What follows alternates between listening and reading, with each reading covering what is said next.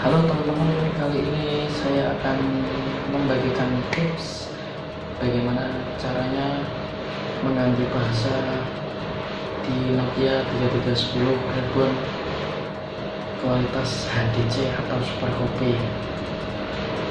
Sebelumnya saya pas beli itu bahasanya bahasa Cina.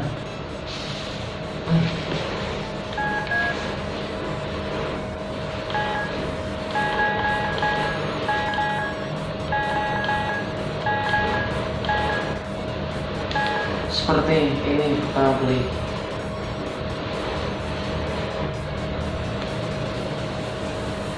Apakah kalian mengalaminya? Sekarang saya akan membagikan tutorial bagaimana caranya mengganti bahasa Nokia ini. Caranya sangat mudah sangat sekali mudah Oke. Saya akan ganti ke layar layar kedua. Nokia 3310 ini memiliki konektivitas 2G dan kartu SIM-nya itu sudah GSM dual SIM beserta micro SD. Pengirimannya cukup lama,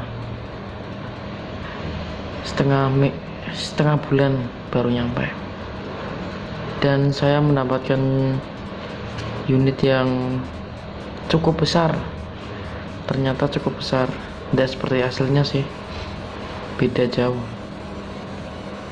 Namun karena ini HTC, maklumin aja lah kualitasnya kualitas seperti HP Maxtron, Cross, Mito dan yang lain-lainnya.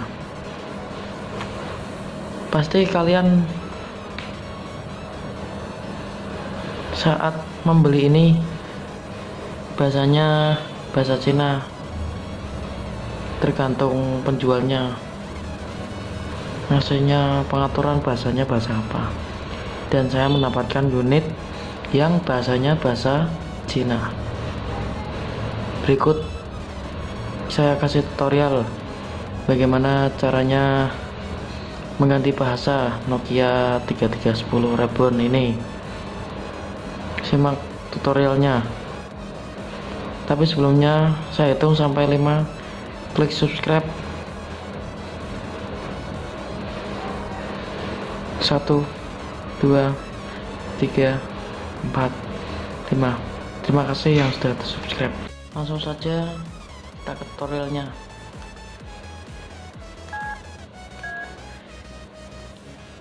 Budget tengah ini ya menu. Terus budget pengaturan. Ini. Tapi setiap pengaturan kan berbeda-beda ya ada yang di atas ini ada yang di bawah ada yang di pojok. Dan saya di bawah. Oke selanjutnya kita klik. Lalu kita menuju ke nomor 2 ini. Nomor 2 itu ya. Klik. Lalu kita menuju ke nomor 3 nomor 3 sini ada opsi English. Kita klik yang English. Dan bahasanya pun menjadi bahasa Inggris. Oke terima kasih. Jangan lupa like subscribe komen kalau kalian tidak mengerti bagaimana caranya. Atau kalian belum paham bisa komen di bawah Terima kasih telah menonton video saya.